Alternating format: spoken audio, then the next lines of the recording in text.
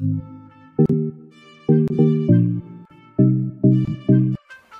Friends मैं स्वाति जेटली आज अपनी नई रेसिपी के साथ आई हूँ। आज मैं इमली की करी बना रही हूँ।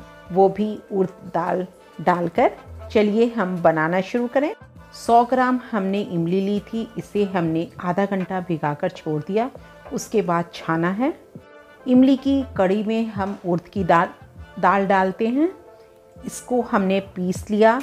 उसके बाद थोड़ी दाल हमने बचा ली है। चार चम्मच के बराबर हमने दाल बचानी है। इसमें पानी और डालेंगे। थोड़ा सा गुड़ लेना है। जितना आप मीठा पसंद करती हो, उतना गुड़ लें। आधी हमने उड़द की दाल बचा रखी थी। उसके हमने बड़े तैयार किए। गैस पर हमने कढ़ाही रखी। उसमें दो चम्मच के बराबर हमने तेल डाला है। हींग डालेंगे दो पिंच। जो इमली का पानी बनाकर हमने रखा है, इसमें उड़द की दाल का पेस्ट हम मिला लेंगे, जो हमने आधा बचाया हुआ था। थोड़ा सा इसमें और पानी भी डलेगा और सारा पेस्ट हम इसमें डाल देंगे।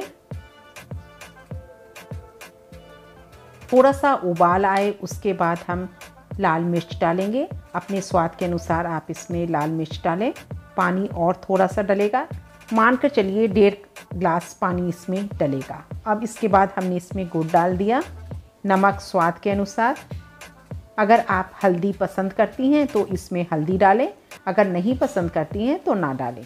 बड़े हमने पानी में भिगा दिए थे सॉफ्ट होने के लिए। हल्के गुनगुने पानी में भिगे हुए पाँच मिनट छोड़ने हैं।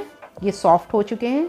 अब हाथों में इस तरह दबाकर हम इसका पानी निकाल देंगे और फिर बड़े इसमें डाल देंगे। सारे बड़े डाल देने हमने। थोड़ा सा हमने इसमें काला नमक भी डालना है। मीडियम आँच पर इसे पाँच से छः मिनट खोलने दें।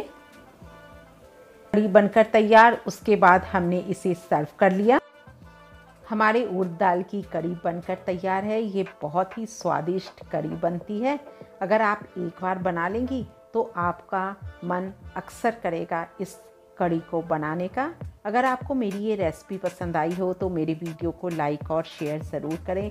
अगर आप मेरे चैनल पर नए हैं तो मेरे चैनल को सब्सक्राइब करना ना भूलें।